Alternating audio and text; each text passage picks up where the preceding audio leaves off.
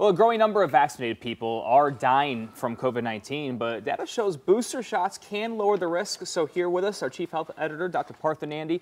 Uh, doc, has this gap, this gap seems between severe disease and death, it, it seemed to be wide. Is that narrowing? Is Omicron kind of a big factor in that? And we were just talking about this before we got on the air, right? And, and Omicron's highly transmissible variants are part of the reason, but the waning vaccine protection is also contributing to higher deaths for those who are fully vaccinated. Now, federal data shows that during the height of the Delta wave, right, almost 19% of COVID 19 deaths were among the vaccinated. That number jumped to 40% in February when cases were surging surging because of Omicron. Now, this does not mean that our vaccines are not working. It's very important to know that. They have saved millions of lives and continue to do so. It's still the unvaccinated that continue to have the highest risk of severe illness and death than those who are fully vaccinated. In fact, the unvaccinated risk of death is about five times higher. All right, so with this new data, uh, is the most at-risk age groups. Does that remain the same? Yeah, that's an important question, right? So yes, our older population continues to be most at risk. About three quarters, Brian, of deaths have this year have been seniors.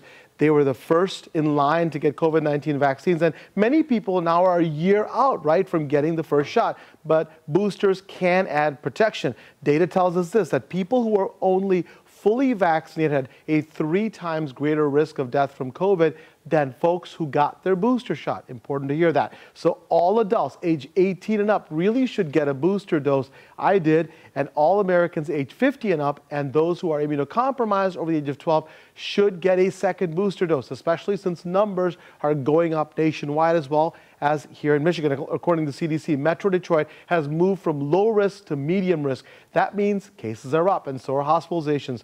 That's are not up yet, but they typically do what? They follow that, that whole rate, and that's most likely due to the more transmissible subvariant BA2. It makes up about three-fifths of cases, and its sublineage BA212.1 makes up about 30% of new cases in the U.S. So please, once again, I will remind you, please, please, please, to get fully vaccinated and get boosted, and then get a second booster if you're eligible. This is the only way we get past it. We can't pretend like this thing is just going to go away if we close our eyes. It Seems like we've all seen this film before with these rising cases. But we've we know got, what to do. But like you said before when we talked about this, we've got the tools now to be able to do more. You've got the knowledge, so let's act on it.